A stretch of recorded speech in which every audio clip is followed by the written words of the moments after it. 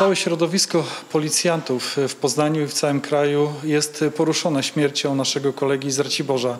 Dzisiaj punktualnie o godzinie 12 z chwilą, kiedy rozpoczęła się ceremonia pogrzebowa, policjanci z Poznania, ale także z innych jednostek zatrzymali się, włączyli sygnały dźwiękowe w swoich radiowozach i przez minutę oddali hołd naszemu poległemu koledze. Do tej akcji włączyli się funkcjonariusze e, z innych służb, między innymi na Starym Rynku zjawili się e, nasi koledzy strażacy, pracownicy pogotowia ratunkowego oraz funkcjonariusze Straży Miejskiej, którzy również swoją obecnością oddali hołd naszemu poległemu koledze. Tego typu wydarzenia niestety są e, dla nas bardzo poruszające. Od wielu, wielu lat nie było podobnej sytuacji, żeby bandyta strzelił bezpośrednio policjantowi w klatkę piersiową i go zabił.